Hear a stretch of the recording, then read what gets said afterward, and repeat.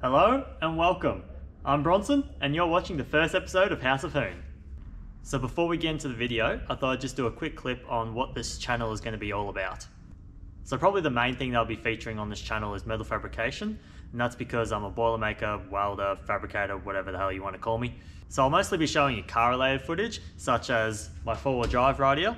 I also have a performance car and a classic car, as well as all my friends and family which are into cars, so I'll be taking you along for a ride to show you what they have as well.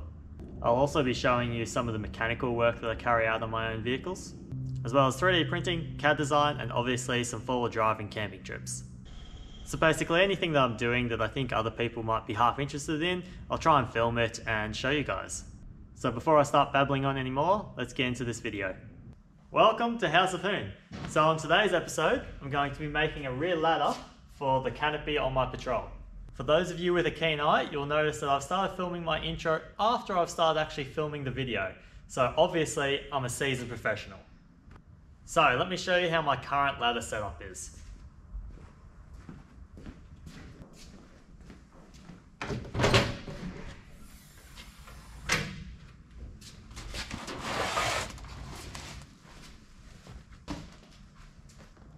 So I'll pull out my ladder from the inside of my canopy.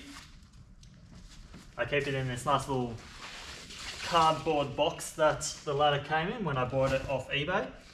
It's just a telescopic ladder, which is pretty typical for most rooftop tents. And you just undo the Velcro, pull it up like so, comes up pretty easy, lay it against there, and start climbing. So it's a good ladder. God damn it, Jimmy. You're always ruining the shot. So, like I was saying, it's a good ladder. Really cheap off eBay. It works pretty good. Sometimes it gets jammed up with mud and sand getting in the slides and, and whatnot, but you just get some compressed air and blow it out, some silicone spray, and it makes it work pretty good. So the the main issue is that there's nothing actually holding it to the canopy, so it can it can fall pretty easily. Luckily, it hasn't fallen over so far, or somebody hasn't taken it while I've been sleeping, but I'm sure that'll be coming one day. As well as the fact that you've got to pull it in and out of the canopy all the time. So that's why I've decided to make a permanently mounted ladder to the rear of the canopy so that it just makes life a bit easier and quicker. Then to pack up the telescopic ladder, you just push these little switches in and like you can see the top is a little bit stuck. Need to grease up a little bit. Next one goes pretty good. Keep your hands out of the way because you can get them pinched pretty easily. Velcro it back up, whack it back in the bag again or the cardboard box. The reason I keep the cardboard box is when it's sandy and muddy, you don't go and get all the sand and mud inside your canopy.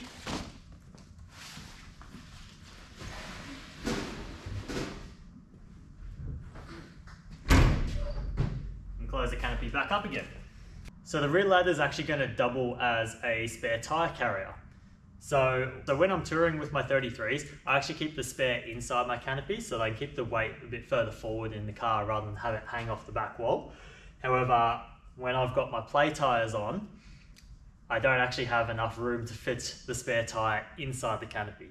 So I've had to resort to making this ladder and making the spare wheel hang off the back wall.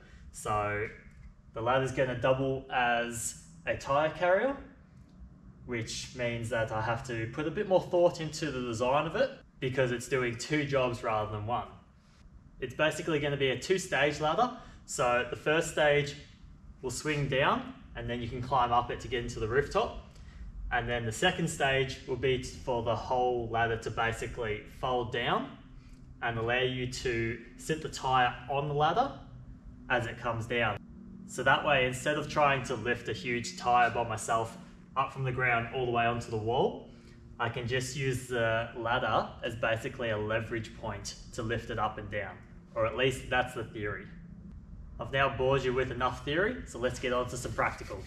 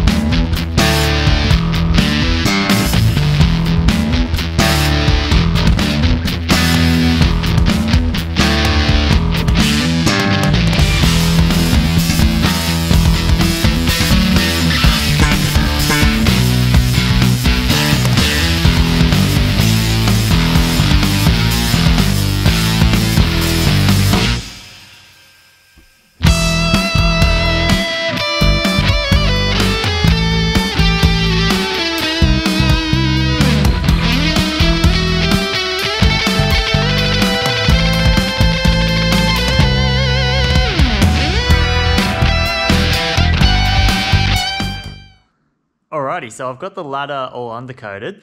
Now it's time to pick a top color. So I could just go a nice white like this. That would match my tray, my cab. Yeah, could do, but nah. Or I could go a nice black. Now, black matches everything, but no. Or I could go red. And to me, that sounds much better.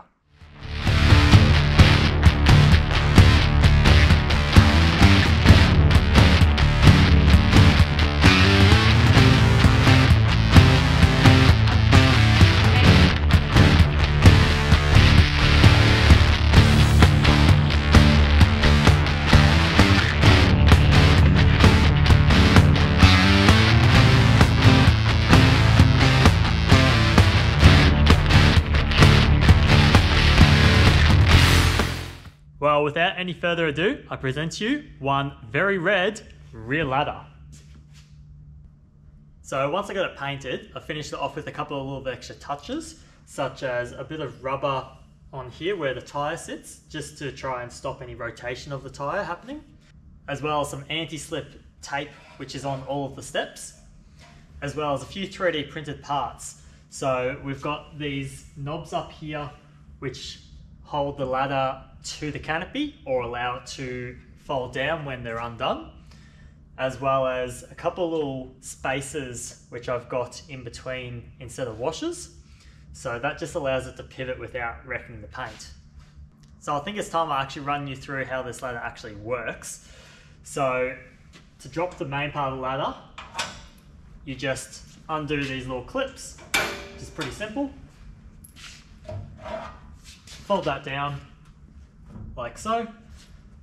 And then that allows you to climb up to your rooftop, which is nice and simple. And then back down again. Then we've got these little 3D printed knobs which hold the ladder to the canopy. So we just take them off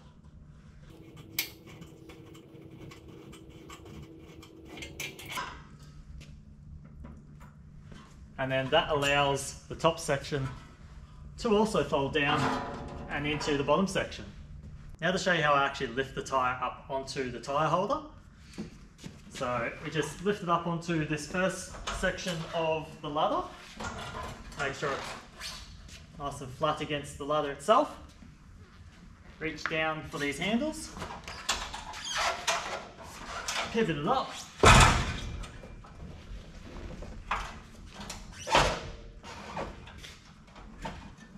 like so. And then you just screw in your little bolts into the side and that holds it up. Obviously you've got a plate here which holds the wheel against the back wall with some nice pressure on it. And then to let it down, it's almost a reverse but not quite of going up. So we drop the ladder down like so.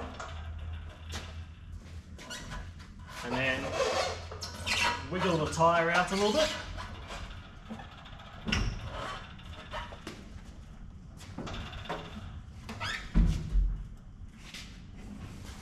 And drop it down. And it's easy as that. Much easier than physically lifting the tyre all the way up from the ground up to here, especially when you're a lightweight like myself. So now to answer the two most common questions I'm probably going to get asked. One, why is it red?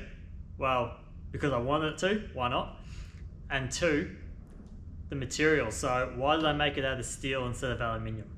So the reason for that is basically because this was a last minute build. I hadn't planned it very well, which wasn't ideal, but things like that happen. So it would have been awesome if I could have got the laser cutter to cut it all out for me in aluminium and that would just be real sweet, but didn't have the time, had to get it done. Now I've got a bit of aluminium in the workshop, but I don't have the correct thicknesses of what I wanted to make it out of. So I just decided to make it out of steel, got plenty of steel here. And once it's painted red, well, most people aren't gonna know anyway. Now, as for the weight factor, I've used quite thin steel on this So it's not actually as heavy as what you'd think. The whole ladder and the tire carrier, the brackets, the bolts, everything, I weighed it all and it weighs 15 kilos. So I think that's pretty damn good for a ladder that has a double folding function as well as a tire carrier and everything that goes with it. Now if you wanted to make a lightweight aluminium version of this ladder, you'd probably save 10, 20%, something like that on what this does. But in reality, it's really not that much. I'd love to hear what everyone has to say about the build on the ladder, as well as my first video. As of two weeks ago, I didn't even have an editing program to edit these videos, so I'm very new to this. I'm trying to learn the ropes and all the features in the software and all that, as well as different filming techniques and whatnot. So if you've got any tips on how to improve my filming or editing or anything like that, or even fabrication of my build. Happy for, uh, for anyone to comment and give me their opinion and any hints or tips or tricks on how to get it all done. If you found this video somewhat interesting and you want to follow along on some of my future builds, be sure to hit that subscribe button and that like button. That would be greatly appreciated. And I'll catch you on the next video.